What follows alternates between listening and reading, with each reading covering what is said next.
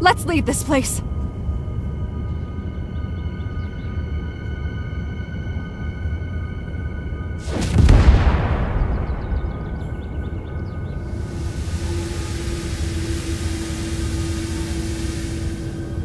What did you do? My powers! They're gone! You're done!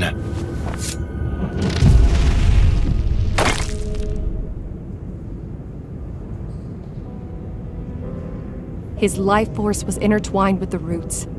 And now, they're both gone. Well, he deserved it. So many people died because of him.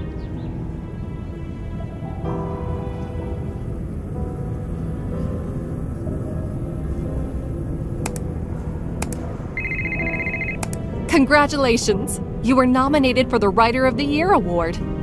There will be time to celebrate, but now, a lot more exciting stories are just waiting to be discovered.